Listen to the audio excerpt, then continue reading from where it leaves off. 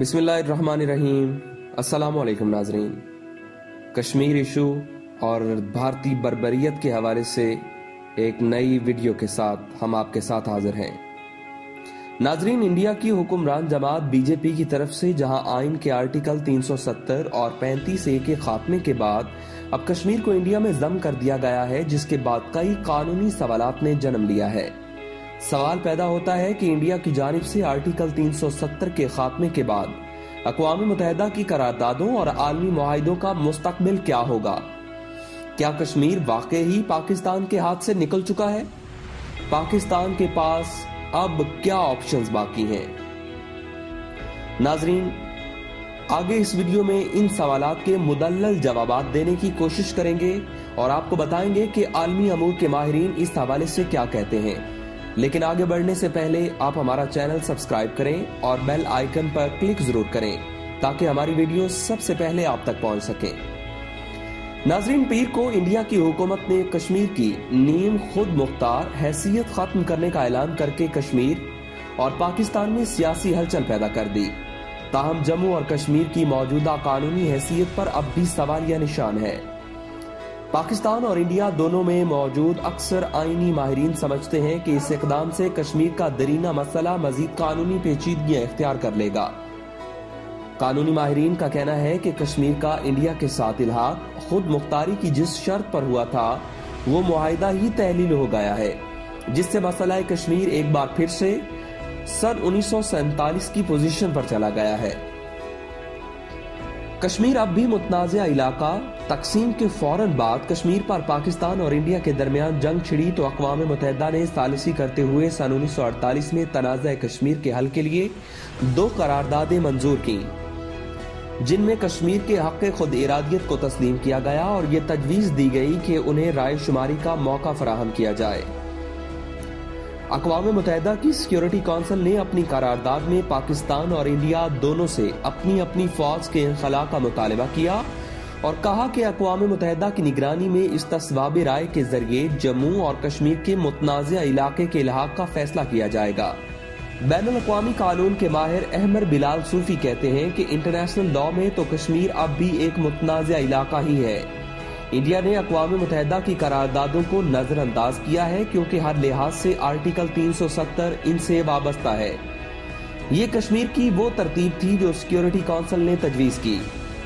جب تک زمینی حقائق کی وجہ سے مسئلہ حل نہیں ہوتا، تب تک یہی خاص حیثیت رہے گی۔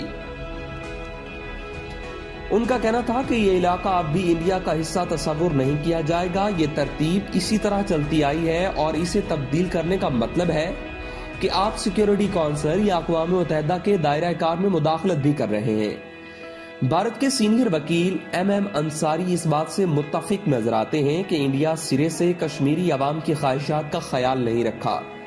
ان کے مطابق انڈیا نے دو طرفہ بات چیت کی بجائے یک طرفہ ہی کشمیر کا مسئلہ کچھ ایسے طریقے سے حل کرنے کی کوشش کی کہ اس فیصلے میں حزب اختلاف کی جماعتوں کے علاوہ خود کشمیری بھی دور دور تک کہیں دکھائی نہیں دیتے۔ ایم ایم انصاری بھی احمر بلال صوفی کی بات سے متفق ہیں۔ وہ کہتے ہیں کہ کشمیر اب بھی ایک متنازع علاقہ اور نئے اقدام سے اس کی حیثیت بین الاقوامی سطح پر تبدیل نہیں ہوئی۔ ان کا کہنا تھا کہ خود انڈیا نے شملہ معاہدہ میں یہ طے کیا تھا کہ وہ پاکستان کے ساتھ مذاکرات کرے گا، لیکن اب انڈیا اس پر تیار نظر نہیں آ رہا۔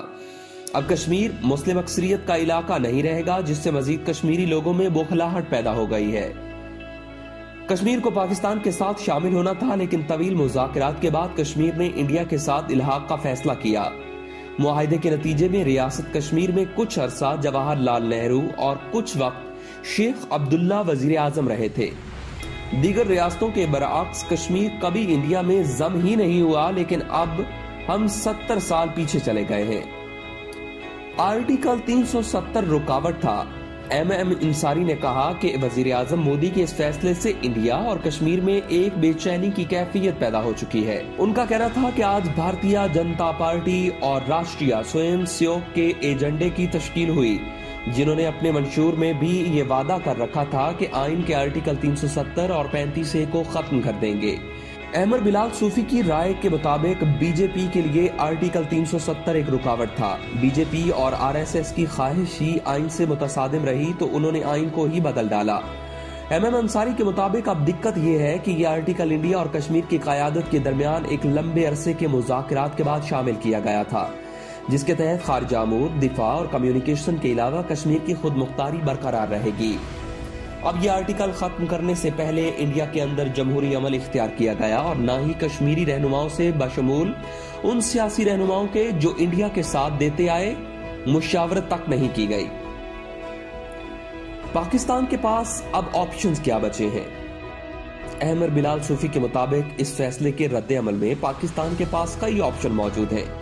ان کا کہنا ہے کہ پاکستان اقوام متحدہ کی توجہ دلانے کے علاوہ علاقائی کشیدگی اور ملٹری ڈپلائمنٹ کی بنیاد پر اقوام متحدہ کی سیکیورٹی کونسل کا خاص سیشن بلانے کی بات کر سکتا ہے۔